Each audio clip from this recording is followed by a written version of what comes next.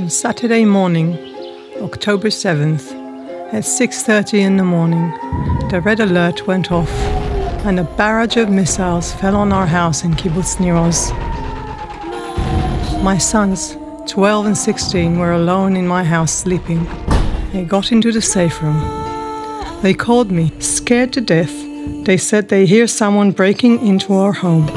Over the phone, I heard voices speaking in Arabic.